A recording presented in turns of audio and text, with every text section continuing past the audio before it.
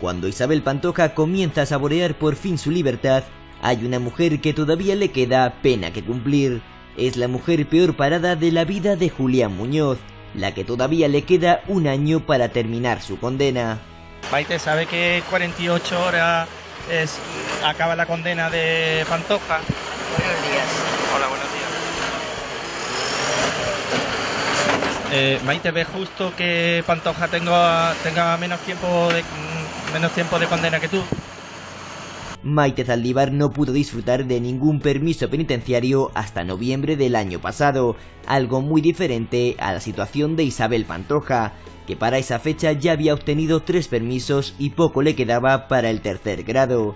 El 27 de octubre de 2014, Maite entraba en el Aurín de la Torre, desolada y acompañada de sus dos hijas y su novio, quienes siempre han estado apoyándola durante todo el proceso judicial del caso Blanqueo.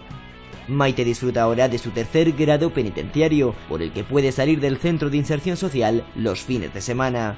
Ella está feliz porque puede pasar tiempo con los suyos, aunque sin duda se queda en un sabor agridulce, conociendo que su rival mediática está respirando la libertad que ella lleva dos años persiguiendo.